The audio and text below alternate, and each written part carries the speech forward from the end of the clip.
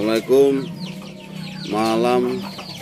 Ya oh, malam. Sore kawan-kawan ini kita mau review. Ya ini sepasang ayam samu cross mangon ya. Ini jantannya usia 5 bulan. Ya lagi belajar kokok. Kalau untuk betinanya ini sudah telur kawan-kawan. Ya ini betinanya. Samu mangon ya. Nanti silahkan bagi kawan-kawan yang bisa cabut kita di 085 643 225 ini jantannya usia 5 bulan.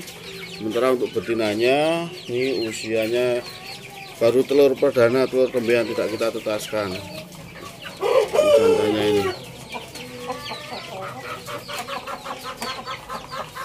Cakep ini. Betinanya cakep. Nanti yang minat bisa jabur kita di 085 643 844225 ya untuk samu mangon ya.